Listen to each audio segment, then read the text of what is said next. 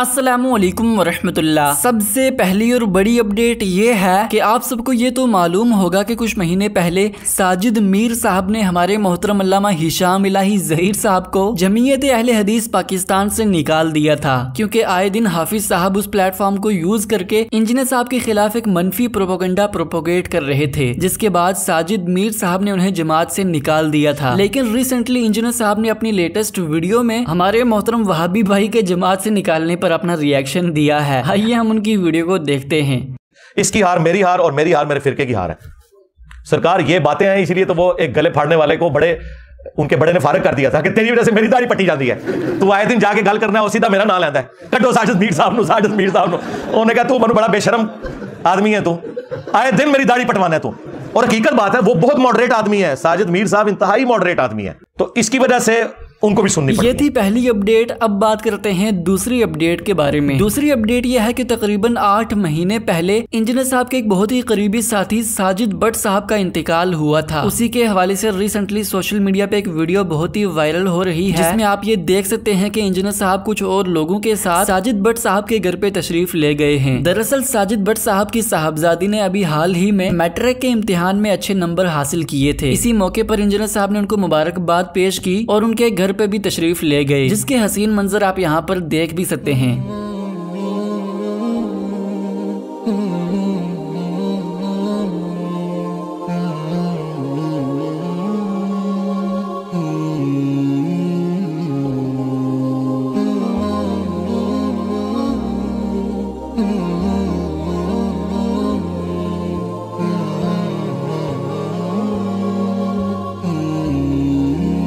ये थी दूसरी अपडेट। अब बात करते हैं तीसरी अपडेट के बारे में। तीसरी अपडेट यह है कि फाइनली इंजीनियर साहब ने मुफ्ती हनीफ कुरैशी साहब के मुनाजरे के चैलेंज का जवाब दिया है। आइए हम उनकी वीडियो को देखते हैं। जो इनके पास हरबा होता है कि इंजीनियर साहब को हमारे साथ बैठा दें, या मेरे पास आ जाए या मैं अकेडमी आ जाता हूँ, सरकार इसकी ज़रूरत ही नहीं है।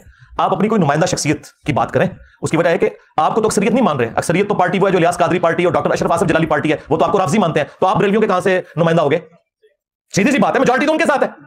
आपको किसने नुमाइंदा शख्सियत बना दिया? और उनकी भी बात हम करेंगे, वो भी नुमाइंदा शख्सियत नहीं है, डॉक्टर अशरफ जलाली, क्योंकि दूसरी पार्टी उनके खिलाफ है। नुमाइंदा शख्सियत है मुफ्ती मुनीबुर रहमान साहब।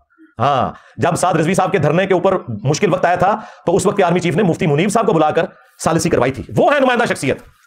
तो निकालो अपने बड़ों को। हाँ हवा लगवाओ चौदह अगस्त के ऊपर। हाँ हाँ। चौथी अपडेट यह है कि रिसेंटली तारिक जमील साहब का जो पॉडकास्ट आकिब फरीद साहब के साथ हुआ था इसी पॉडकास्ट में मौलाना तारिक जमील साहब ने बनु उमैया के हवाले से भी गुफ्तगू की है। अल्लाह ताला के नबी ने कहा अल्लाह अल्लाह हफ़ी असहाबी ला तत्तखिज़ूहुम गरदम मिन बादी. कि मेरे सहाबा के बारे में अल्लाह से डरना उनके बारे में लब कुशाई न करना। सूरत हदीद में अल्लाह ने कहा कुल्लन वाद अल्लाहुल हुस्ना. अल्लाह ने सबके लिए जन्नत का वादा कर दिया। अब मैं बैठ के किसी को जन्नती बनाऊँ, किसी को जहन्नमी बनाऊँ, मेरी मजाल है। तो अपना दामन ख़राब करने वाली बात।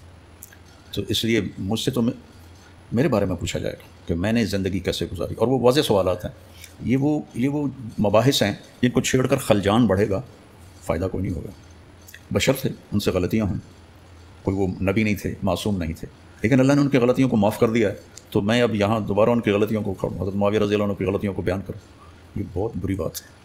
ये थी चौथी अपडेट। अब बात करते हैं पांचवी अपडेट के बारे में। पांचवी अपडेट यह है कि रिसेंटली पाकिस्तान के मशहूर क्रिकेटर अहमद शहजाद साहब भी जहलम अकेडमी में तशरीफ़ लाए थे और उन्होंने जहलम अकेडमी में इंजीनियर साहब से मुलाकात की और बहुत सी चीज़ों को वहाँ पर डिस्कस भी किया, जिसका एक सेपरेट व्लॉग जहलम अकेडमी के ऑफिशियल यूट्यूब चैनल पर भी पब्लिश किया गया है। उसकी लिंक डिस्क्रिप्शन में प्रोवाइड कर दी गई है, आप वहाँ से इस वीडियो को देख सकते हैं। सिक्स अपडेट यह है की रिसेंटली कामरान तिसौरी साहब, जो सिंध प्रोविंस के गवर्नर है, उन्होंने रिसेंटली सितारा इम्तियाज़ अवार्ड जो पाकिस्तान का थर्ड हाईएस्ट सिविलियन अवार्ड है। उस अवार्ड के लिए उन्होंने मौलाना इलियास कादरी साहब को नामजद किया है।